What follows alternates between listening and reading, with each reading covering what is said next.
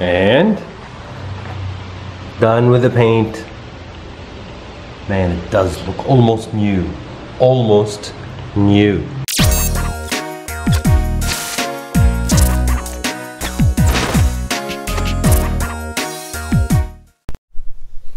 So, I haven't done it before, so I'm assuming there's a certain order that things needs to get out and get in in order for me to start removing this piece, this piece, this piece, and so on and so forth. Now, first thing I need to remove the rotor. So this is the screw, one and two. Once you remove those, you'll be able to get this one out. But in order to get this one out, you need to remove the brake or the brake caliper, basically. To remove the brake caliper, these are the bolts that you need to loosen up. You've got one over here and there's another one over there. I'm not planning to remove the brake line because the brakes are already bled and it works just fine. So if I'm to remove this banjo uh, thingy, what happened is it's to start uh, leaking oil, well not oil, leaking brake fluid and that basically means once I'm done I need to rebleed it. I don't want to do that. Plus I can work with this installed. Uh, to remove this one, I think I need to remove this metal thing. It has one bolt over here and there's another one at the back. I don't know if you can see it, but yeah, there's another one at the back. So let me start by removing those two bolts and that will loosen up this piece so that I can remove this bolt here and here. That clears up the brake. Once it clears up the brake, I'll be able to remove this one. And once I remove this one, this basically the brake dust cover I should be able to remove it. I'm not sure if there's bolts at the front or at the back, but we'll figure that out as we go. Uh, once this area basically is cleared up, that gives me extra space in order to work on the control arm, the upper control arm and all the other miscellaneous things okay i'll take it one step at a time and i'll let you know how the progress works i'm not going to be able to put a time lapse because the area is too small but yeah first step is going to be removing this one removing this one then removing this one. Okay? Yep. We are making progress. This is the brake caliper strapped over here because I don't want to put pressure on the brake lines and this is the uh, emergency brake line or the handbrake. you uh, by the way you kind of need to put it down. Don't engage the emergency brake because otherwise you won't be able to remove this one. So I learned it the hard way. Uh, two bolts there they are. Size 12 yeah 12 mil. Once you get them out you'll be able to do it. As for the cover there is the cover size 10 and you should be able to remove them. There you go and this is the caliper this is the other piece and these are the brake pads. Everything is stuck. I mean to be fair it's not bad. The brake itself is not bad. Yeah it needs cleaning but I still do have enough pad in it. Okay so once you remove those two pieces then you should be able to remove the remaining. Now you see my hands are dirty. I should have worn some gloves. But yeah that will loosen up and makes it a bit easier for us. I need to remove this piece now. I need to figure out how. I would assume there should be yeah one bolt over here and another bolt over there already removed one. I think it's size 14 yep size 14 so at the back one over here and another one over there and that basically will remove this piece. Once this piece is removed then we'll have extra access over here. Remove this one. That clears up the space for us. After that I need to clean up. Uh, let me tidy up clean up and remove these two parts and I'll take it from there okay? All right. We're making some progress. We managed to remove the rotor with the screws we loosen this one up and this one is just freely playing I jacked up the car, well jacked up the axle basically, so that the suspension would not basically expand on me because I'm trying to loosen up this one. This is a ball, ball joint separator. This is the tool with all the things that you might need. So what happened is you just line it up, you see the clamps, the tie, the tie rod, and as you just loosen it up the screw basically pushes this one out and that releases this one. That's the plan. Let's move on with this one. Now the reason why it's jacked because once this one is released then this is free. So you kind of need to have it in a certain angle as is so that we can put it back once we're done with it at least. Or that's the theory all right let me try to give it out and see how that goes. And just like that upper control arm no more. There it is. Remember when I told you there are a couple bolts in the trunk that you kind of need to loosen them up? There you go. You just need to basically go here. That's one. This is two.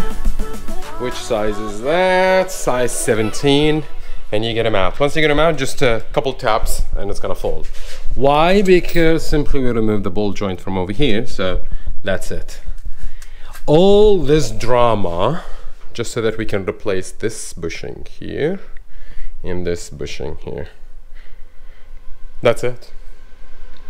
I mean, this ball joint looks like in good nick. Dry, the rubber thingy dry, but still not bad. I'm thinking this one needs to be cleaned up, replaced and all. All this drama that we've done in this side, we need to replicate it in the other side. I still need to do a bit of a more Googling just to find out how am I supposed to be able to remove this one, just so that I can get this one out. Uh, this ball joint is gone. Uh, I can remove this one over here. This is for the tie rod. And there is a, another one which is lower uh, uh, ball joint that controls this whole thing. Or what do you call it? The hub assembly? Yeah, the hub assembly. Because we might need to replace these ones. I just want to check them out and see how bad or good they are. Because they might need replacing. And this one, it'll do a good of a cleanup. You see, it's not bad of a job, but it, it takes long. It does take long. All our job now is going to be on this one. First order of business, we definitely need to wash this one because look at my hands. And this is just me getting them out. And this is mostly WD-40, but look at the mess that we made. So yeah, it's always good to start and work on a clean canvas rather than dirty one. Look at those. I don't know, can you see them? Can you see that? Look at the bottom. You're not going to be able to see it from here. Let me just see. You see? See? Everything in general, it does look dry, so it definitely needs replacing. Alright, there you go.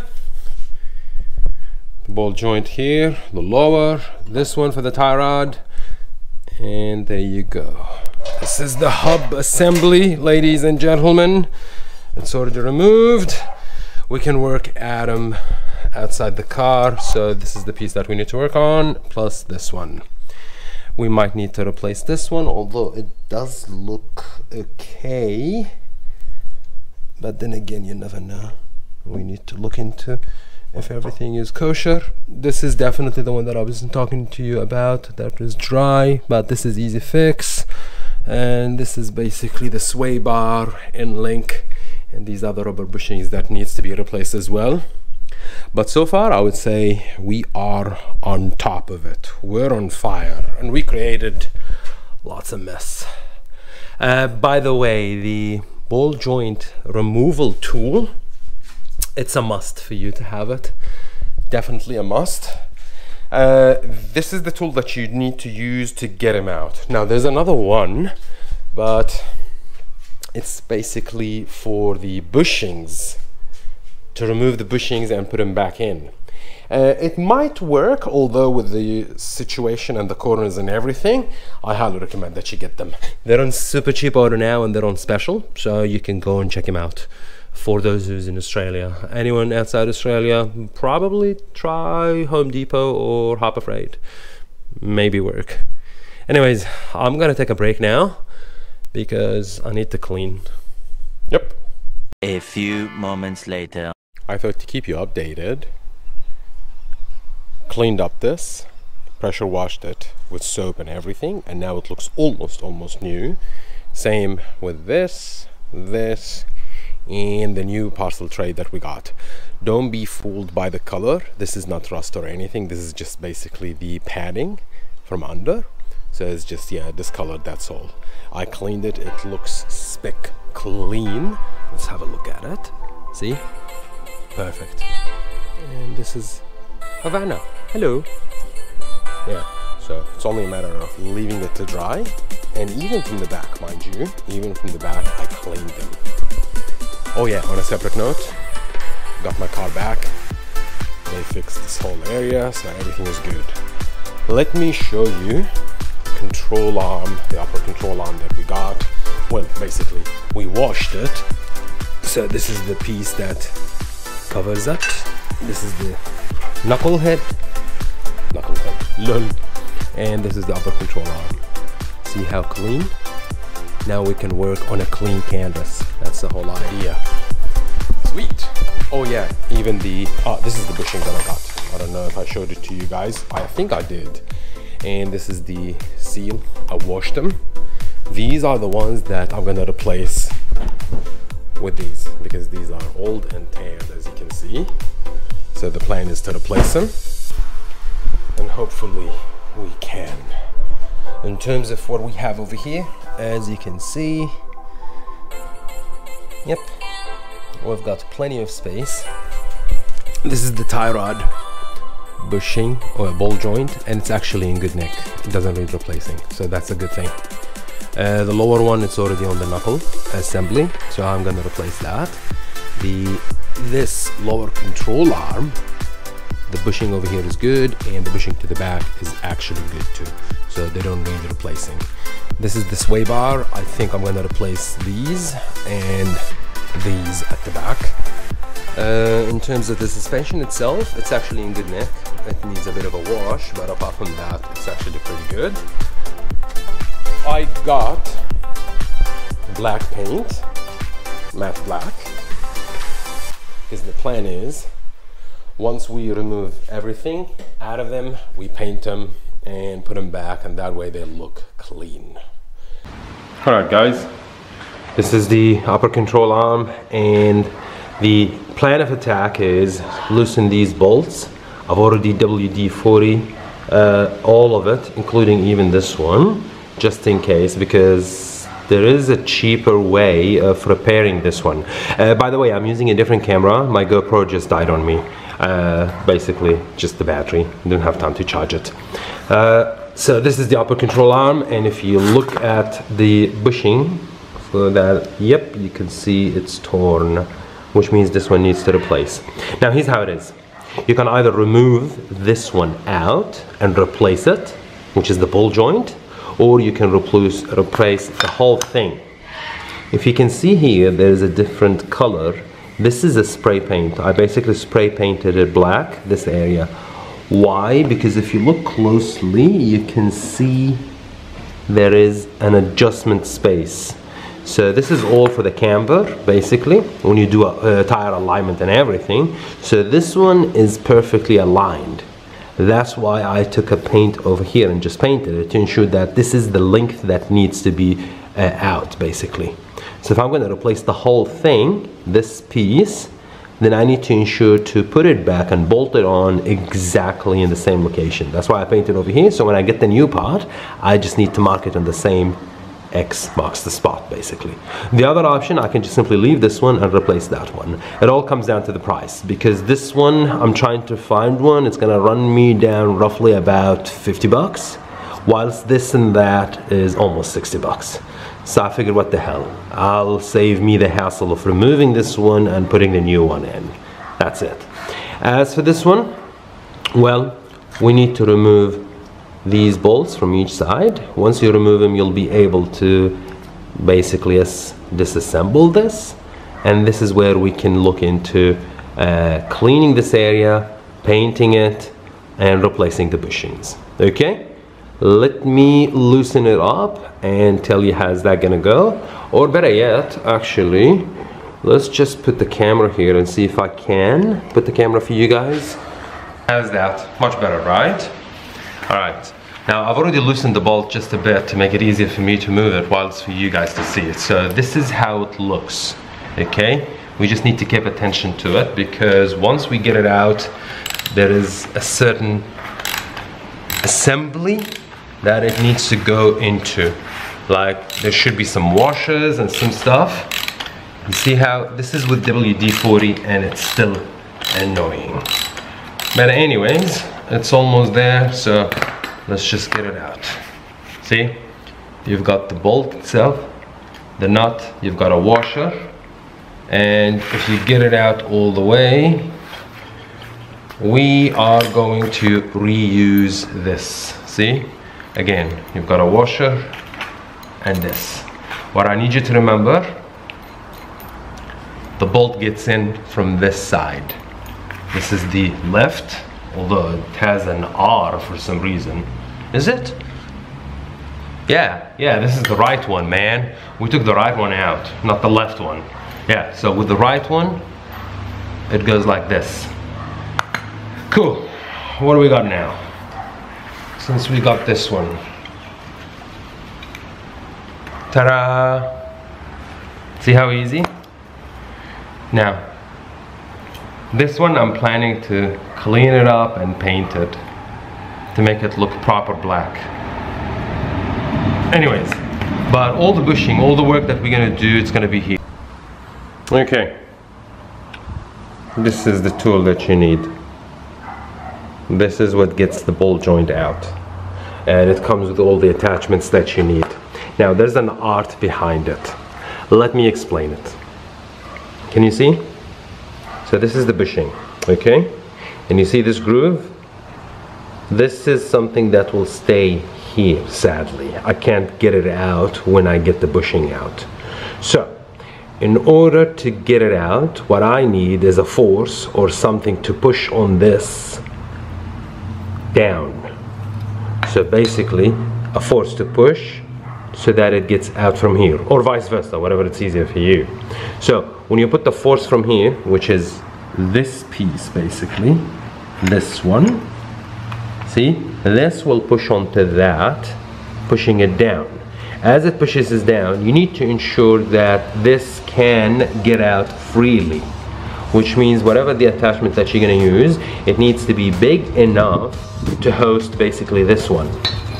So if you look at it, it doesn't really matter if the attachment that you're to put, basically it's to come on top of this groove because this groove is to remain there at this point at least.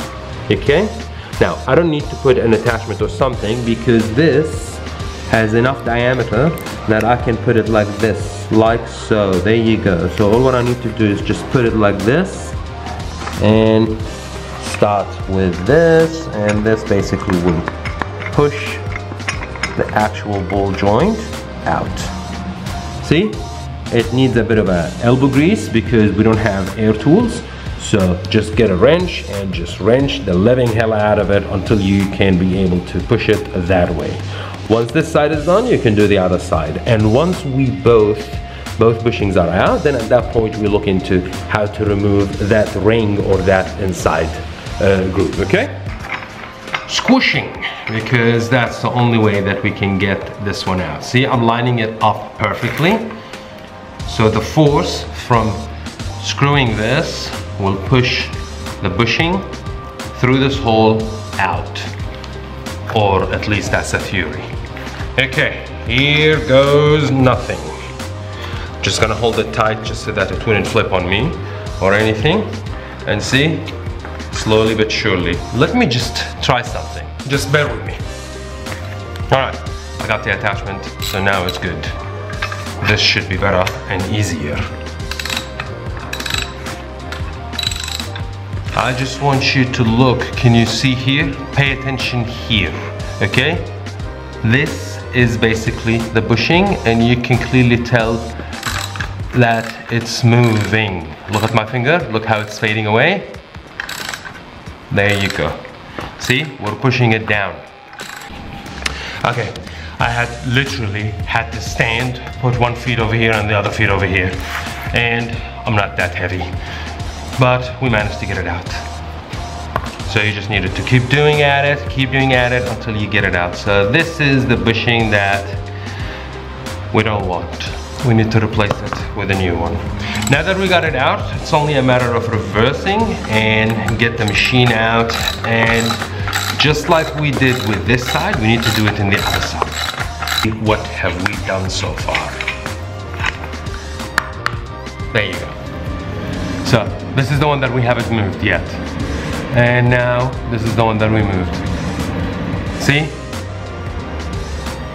Now we removed the bushing, that's true.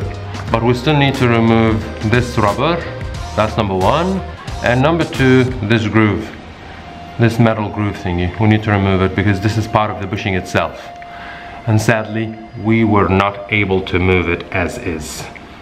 Uh, there is a way, I'll show it to you, but first things first, we need to get this one out.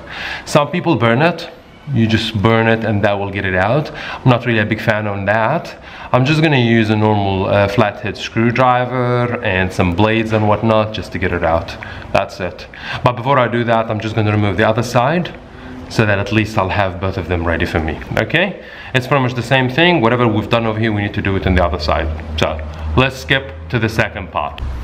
Let me tell you something, it's not fun at all. It's absolutely not fun. So here's what you do. You start by, let's focus, focus. Yep, there you go. You start with the saw. I'm using just a normal one. Make sure that it's for metal. And you start cutting yourself a groove. The idea is the ring inside, we need to cut it. That way we can use a small flat head screwdriver with a pointy tip and such and just tap on the corner or the groove itself to somehow pry it out. Once you do, it's tedious, it's time consuming, and it requires a lot of elbow grease. See, I'm not even done yet. But I managed to cut it, and because I cut it, I managed to tap it from the other side and get it out which is nice. Now all what I need to do is just simply continue tapping it and getting it out. Once I'm done with that side, I need to do this side and this concludes removing the bushing. After a lot, a lot of hammering, sewing, machines, tools, whatever, you name it, whatever we've got, we tried it out and eventually we got it sorted out. Check it out. Check it out people. This is it. So this is the other piece. Yeah, yeah, some might say like, why is it? Well, there you go. You can just easily remove it and put it back. So it's not gonna be an issue. But both of them are removed. And guess what? If you look at it carefully, there you go. I didn't even damage the inside.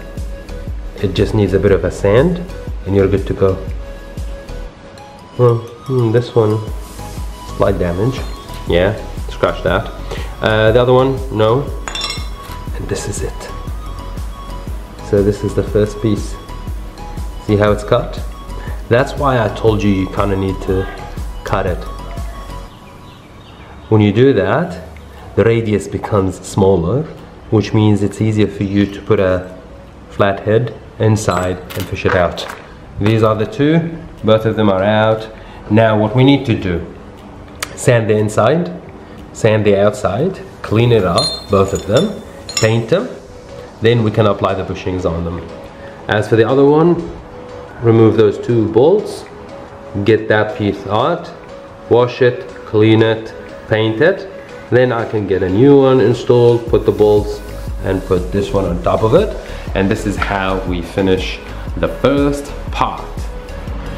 Hmm. One down, three more to go. Yay! Okay, quick update. There you go. Washed, cleaned, wet sanded, cleaned even from the inside. And as you can see, I'll put some masking tape from the inside because at the end of the day, the bushing will go through that. So that should not be painted. And also the bolt itself, I've taped it in both sides. And now, primer, waiting to dry in order to apply the matte black. Good progress. And done with the paint. Man, it does look almost new. Almost new. All what I have to do now is just wait until it's completely dry, check it out, remove the masking tape, and pretty much I'll be good to go to apply and put the bushings. Look at it, man. Sadly, whatever we've done now, we kind of need to do it three more times. A few moments later. All right, quick update. Uh, I went and pursued for some parts, and you know how rare the parts are, so I ended up in the Shangri-La in Sydney. Don't ask me why, stuff happens. So, quick update. Yep. You can't find no parts in here, I know that for sure. But I figured, since I already made it this way, might as well just enjoy. So this is the room, and this is the view, and if you can see over there, I don't know, can you see it? Yep, that's the Sydney Opera House right over there. Now, if my calculations are correct, probably I'll find some parts over there. I need to go there, find the parts, and report back. If not, oh well, I've seen the Opera House again.